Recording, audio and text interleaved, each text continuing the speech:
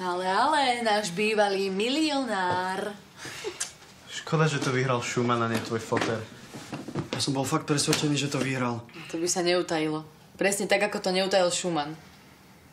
Hej, nebuď smutný, prežijeme. No neviem. My máme problém, kámo. Aký máte vy dvaja zasa problém?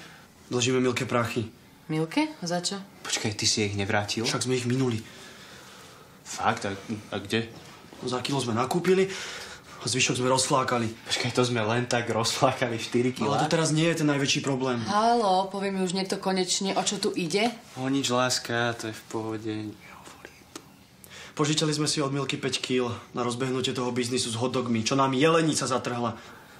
Vy ste sa zbláznili? To je na čo hovoríš? No lebo neviem, kde tie prachy zobrať. Milka ich do večera potrebuje. No ja nemám žiadne peniaze. Tak to sme v riti. A nie je Schumann náhodou tvoja rodina?